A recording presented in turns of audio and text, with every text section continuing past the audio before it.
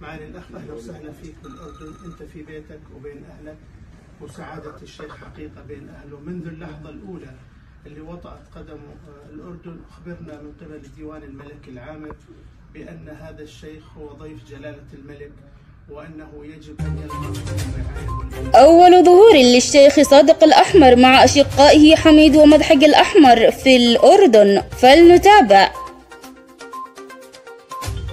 أسعد الله أوقاتكم بكل خير. تداول ناشطون على مواقع التواصل الاجتماعي. صورا تجمع الشيخ صادق بن عبد الله حسين الأحمر مع أشقائه من بينهم حميد الأحمر ومضحك الأحمر.